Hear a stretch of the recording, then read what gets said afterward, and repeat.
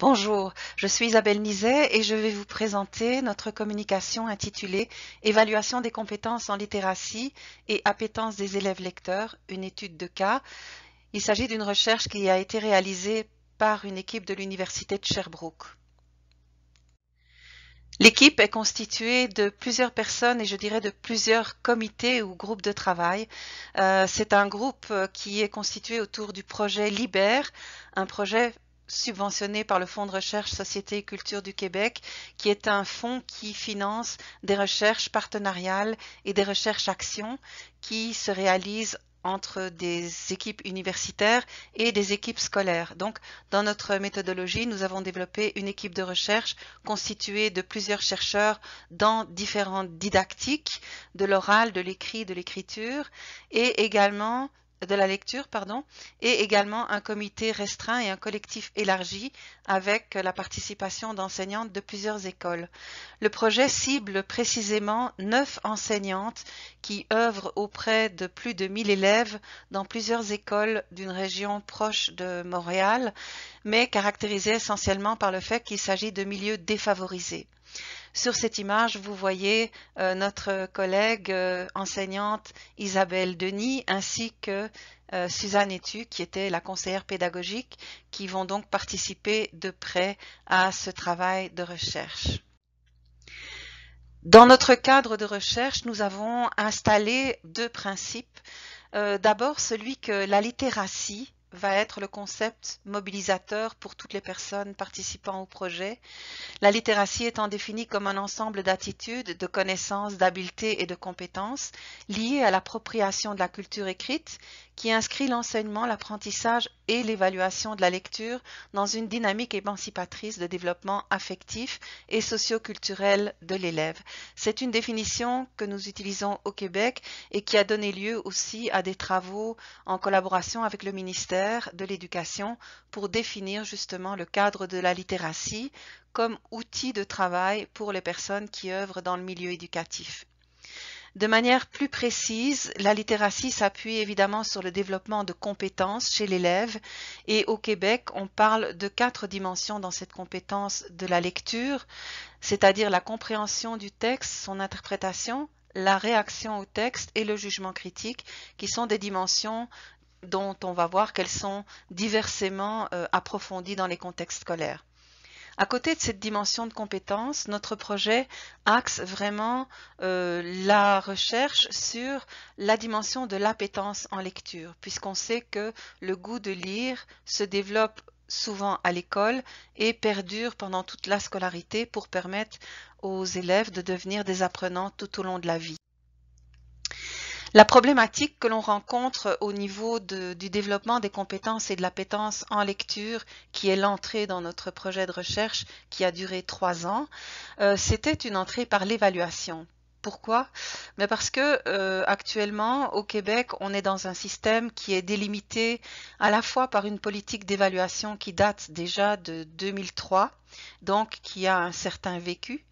et par des étapes euh, choisis par le ministère de l'Éducation qui ont obligé les enseignants à instaurer un bulletin unique dans lequel on a restauré l'idée de moyenne et de résultats chiffrés. Ça se fait dans beaucoup de pays où l'approche par compétence a été implantée. Et également en 2011, euh, l'apparition de documents qui prescrivent les actions euh, évaluative des enseignants à travers une progression des apprentissages et des critères d'évaluation qui sont édictés pour toute la province. En 2018, euh, un document a été produit par un organisme paragouvernemental qui dénonçait les dérives liées à cette euh, inscription de l'évaluation, si on peut dire, dans un paradigme plutôt normatif.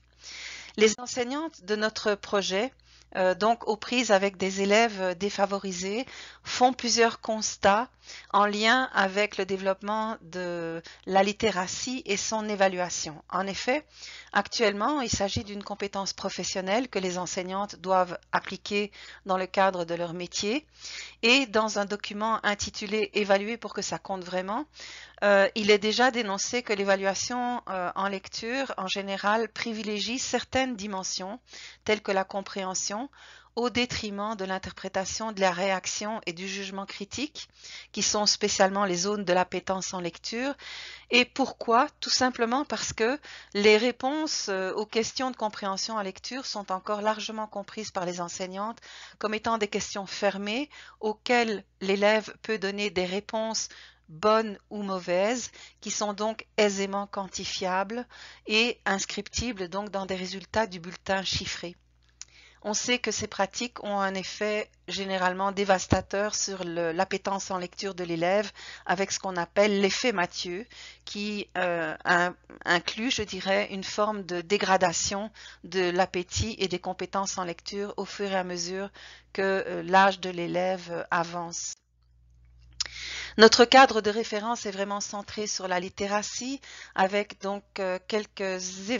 quelques éléments que nous avons voulu mettre en valeur pour faire évoluer les pratiques d'évaluation. Tout d'abord, euh, la littératie doit avoir une vision émancipatrice euh, pour euh, les élèves lecteurs. L'appétence en lecture doit primer à certains moments sur l'évaluation des compétences et cela implique donc un changement radical de posture des enseignantes pour qu'elles pensent l'évaluation davantage comme un élément qui peut aider les élèves à mieux développer leur appétence en lecture.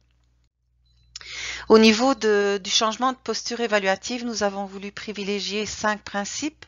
D'abord, aider les enseignantes à donner de la valeur à toute trace d'apprentissage, impliquer davantage les élèves dans la compréhension des cibles d'apprentissage, travailler avec eux les critères d'évaluation, aider les enseignants à trianguler davantage les preuves d'apprentissage et aussi introduire avec les élèves un questionnement systématique qui leur permet de voir à quoi sert l'évaluation, mais aussi euh, comment elle peut les aider à soutenir leurs apprentissages. Donc en se disant où allons-nous, où en sommes-nous dans nos apprentissages et comment faire pour mieux nous y rendre. Donc nous sommes dans le cadre d'une recherche-action qui vise donc explicitement une transformation des pratiques et qui a par conséquent une visée à la fois de formation et de recherche. Euh, dans ce dispositif, en tout cas pour ce qui concerne l'évaluation de la lecture, euh, un groupe de chercheurs formateurs a, été impliqué, en l'occurrence Martin et moi, pour favoriser à la fois une vision conjointe de la didactique et de l'évaluation dans des activités de formation qui ont été offertes aux enseignantes et dans un accompagnement interprofessionnel qui s'est concrétisé par un accompagnement systématique euh, des enseignantes par Suzanne, qui est considérée comme la conseillère pédagogique, mais aussi évidemment comme une médiatrice entre les éléments de formation, de recherche et les éléments de pratique euh, qui étaient développés chez les enseignantes. Nous avons voulu donc, euh, à partir de données de recherche, peut-être plus large, mais proposer dans ce cas-ci une, étude qui ciblait essentiellement le développement des pratiques d'Isabelle, parce qu'Isabelle est une enseignante dite leader, c'est-à-dire qui a développé dans ses pratiques euh, peut-être beaucoup d'audace, beaucoup de prise de risque, et qui a été encadrée de manière spécifique par Suzanne pour pouvoir prendre ces risques dans un contexte sécurisé et voir avec ses élèves directement quels en étaient les bénéfices pour en faire euh, rapport à notre comité élargi et donc aux autres enseignantes concernées dans son école et dans les autres écoles. Euh, ce qui est intéressant, c'est de voir qu'Isabelle a démarré cette entreprise de modification de ses pratiques évaluatives en s'attachant d'abord à faire une réflexion personnelle sur la littératie pour elle-même en participant à des ateliers d'écriture et en travaillant au développement d'une communauté de lecteurs, auteurs, enseignants dont elle a fait partie. Cela l'a amené à poser des questions auprès de ses élèves. Pourquoi lire? Quels sont les effets bénéfiques des activités de lecture? Comment puis-je créer une, communauté de lecteurs dans ma classe? Et aussi voir auprès des élèves quelle était cette fonction émancipatrice.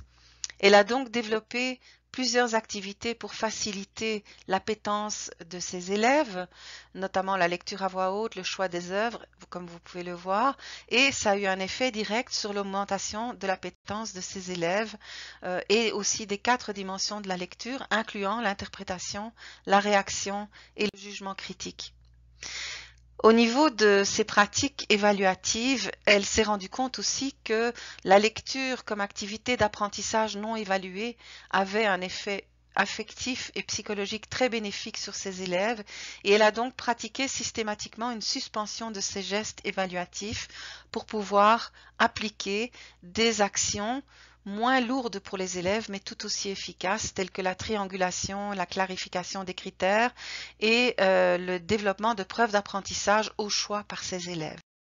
Je conclurai la présentation de ces données en disant que Suzanne a essentiellement joué un rôle, comme je l'ai dit tantôt, de courroie de transmission, de passeur, euh, et elle a éprouvé la recherche-action comme un déclencheur de sa propre expérience professionnelle et de son propre développement. Et euh, en ce qui concerne Isabelle, vous avez pu lire évidemment les extraits verbatims de ses témoignages, et on retrouve aussi cette dimension d'autonomie, de développement d'une dimension réflexive et euh, d'enjeux émancipatoires pour elle-même et pour ses élèves en ce qui concerne l'évaluation. En guise de conclusion, je proposerai quelques réflexions sur les enjeux euh, qui nous relient à la TACD de manière plus ou moins directe. Donc l'idée d'abord que l'apprentissage pour soi et pour les élèves est au cœur de la transformation des pratiques euh, évaluatives d'Isabelle, qu'elle a pu éprouver, je dirais, une réappropriation du plaisir d'enseigner et pour les élèves aussi du plaisir d'apprendre avec l'idée d'appétence.